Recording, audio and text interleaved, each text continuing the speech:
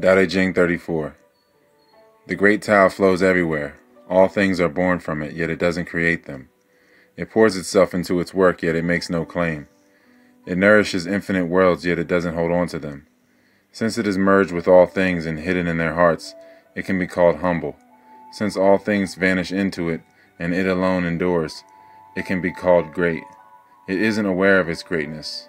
Thus it is truly great. Great Tao is like a flood. It can flow left and right. The 10,000 creatures depend on it for life. It doesn't reject them. It completes its task but takes no name. It clothes and supports the 10,000 creatures, but it's not their master. Having no desire, it can be called insignificant. The 10,000 creatures return, but it is not their master. It can be called great. In the end, it doesn't make itself great, and so it achieves greatness. So again, you know, the Tao flows everywhere like water indiscriminately, uh, just filling things up as it as it goes. It fills the water fills things up and then flows onward. It flows to the lowest place, fills it up, and then flows onward. Pretty much the same thing with the Tao. The Tao uh, is nourishing things, creating worlds, pouring itself into its work. You know, its likeness is like water. You know, it doesn't have to try. It's nourishing without trying. So, in, in, in not trying, it's flowing indiscriminately so life flows back fully and completely because it's allowing the the flow fully and completely. So it's nourishing things and not it's not um, laying claim to things. It creates things. It doesn't lay claim to them.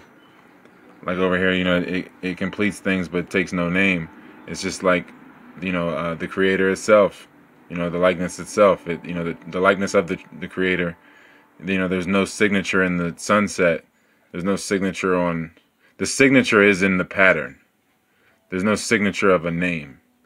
The pattern is the mark. The pattern is the actual signature.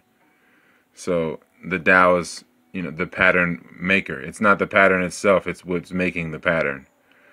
So um in that since it's not the pattern itself, it can endure.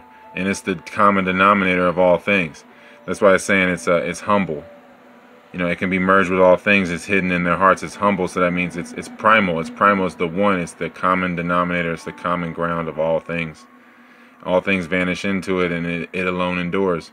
So everything else is particular, and it's eternal in its own right, but it it has to return to its source. And so that source is the only thing that's enduring forever. It's like if you if your body were to die your body is what stores the memories. So, since if your body's dying, the only thing that will endure and have recollection of the death of the body would be the, the observer, the driver of the body, you, the Tao. So, since all things vanish into it and it alone endures, it's enduring life and is enduring death. So, it's you know, it's not aware of its greatness, so it's truly great. Being aware of it is knowing.